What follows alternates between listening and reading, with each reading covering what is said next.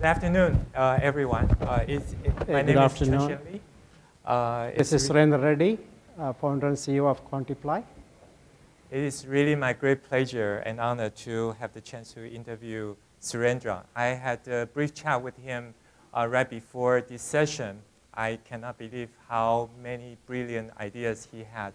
He started many companies. He also had a chance to work uh, in a number of uh, large corporations. So I'd like to maybe ask uh, my first question.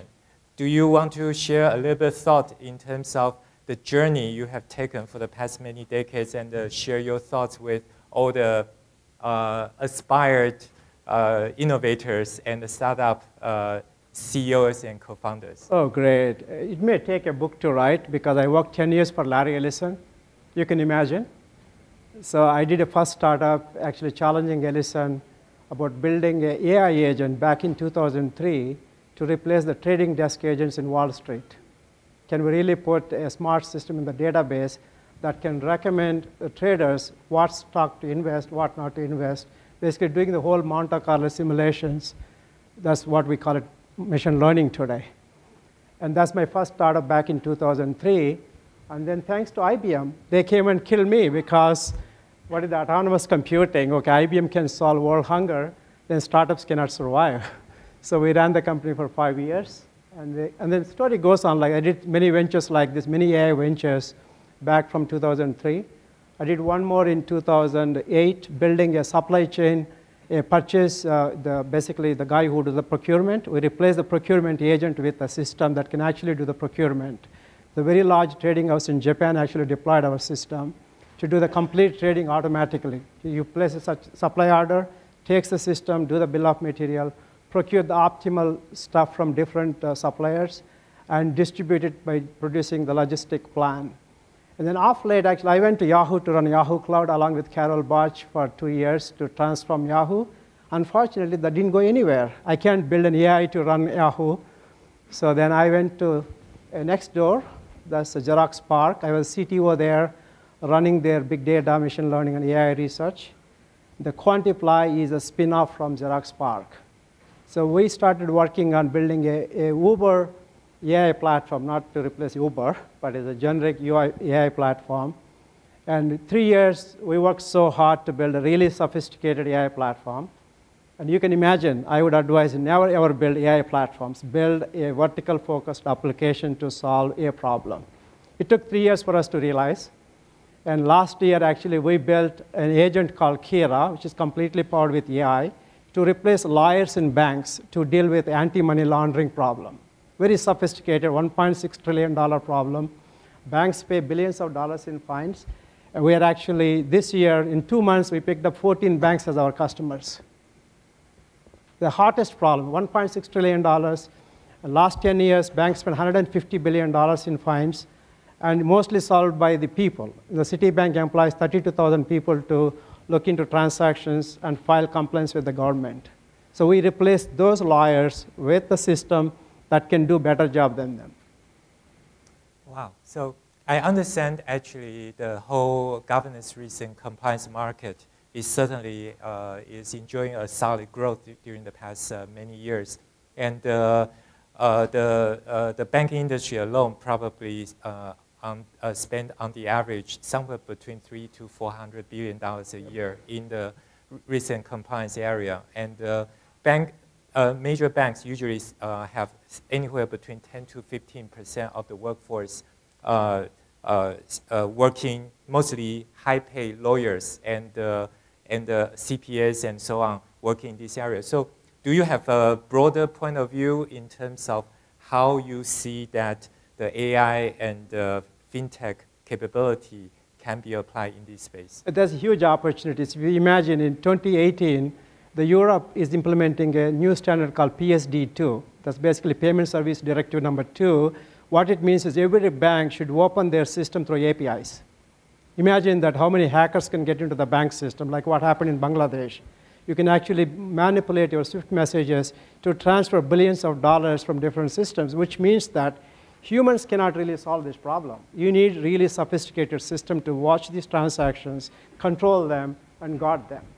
I see huge opportunity. It's a trillion dollar opportunity. Even if you look at few banks in the United States, like a BN, you know, the uh, BNY Mellon, 1.6 trillion dollars they transact through, the, through their system. How many humans they should employ? 18,000 people watch every transaction go through the BNY Mellon system to see whether it's a fraudulent or not. Imagine JP Morgan Chase employ 37,000 lawyers to look into each of these transactions. So what we are replacing is not all of your jobs, but replacing very highly paid, you know, next to the data scientist is called AML investigator, helping them to do good things in the society by tackling the money laundering problem.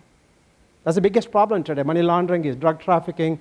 You know, think of anything like only 2%, according to the United Nations report, only 2% is ever tracked. If $1.6 trillion is laundered, only 2% tracked, what is our technologies doing? Can't we do a better job using machine learning and AI to tackle that problem? Huge opportunity. So given a little bit of my own history, I cannot help but have to ask, um, when do you think the AI will be able to power a system to pass the bar exam? Well, yeah, that's a great question, actually. We built our, our agent is called Kira. We were thinking about how Kira should get a social security number so that we can pay unemployment tax. Whoever lose the job because of our Kira, they get unemployment benefit. So soon our Kira will pass bad exam in, you know, maybe a few years.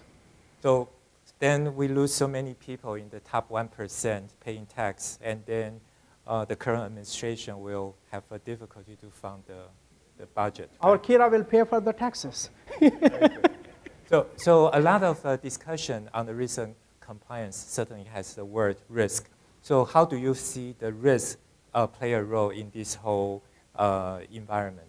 You know, I can give an example. We're talking to, we talk to all chief AML officers as our customers. In one of the conversations, they said, don't talk about compliance, don't talk about regulations. It's a big onion. No one is willing to open that onion. Once you peel the onion, everything is a non-compliance.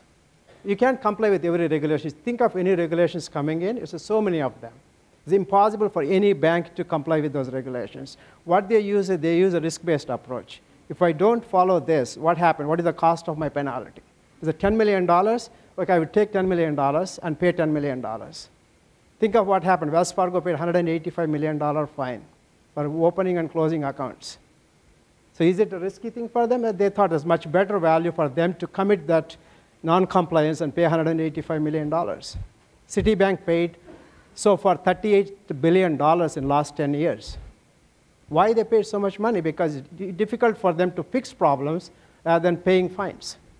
So with AI, it makes all our lives better. We be compliant with a lot of things. All the money get wasted, save so many people.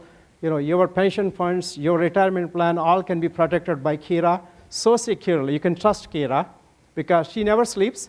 She never get bribed. No lobbying for Kira.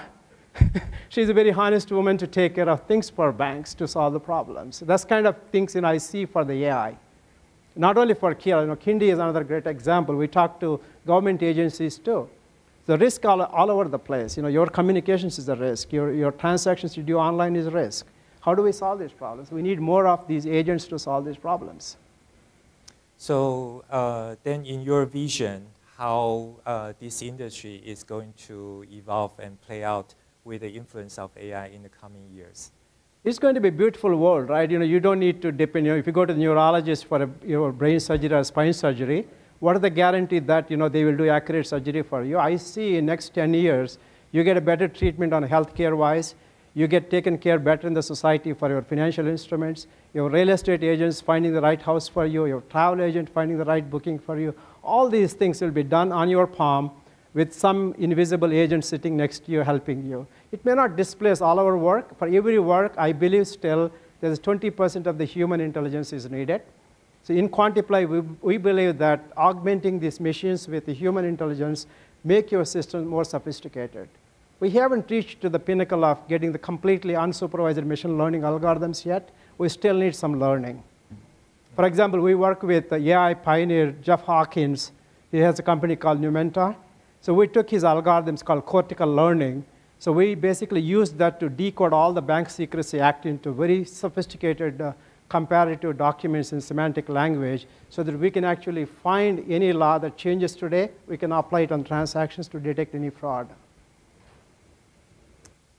Very good. So um, as we approach uh, the end of this uh, very brief fireside chat, if you want all the audience to walk away with three key lessons learned from your long journey for starting companies and working in the AI in banking industry, what are the three things you want them to never ever with? build a platform never ever build a platform don't try to say i'm going to build a machine learning platform a ai platform never ever do that take one problem do very good job in doing that number two you cannot you never win the game of changing the work process if you go to the bank tell the investigator you're going to change the process because i'm introducing the new agent you will never win that game augment their life with your tool, make their life much better by augmenting it. It makes their life much easier. Then you become friend to them instead of a foe to them. They will promote you. And third thing is don't take VC money on the day one. So we built Quantiply with zero money.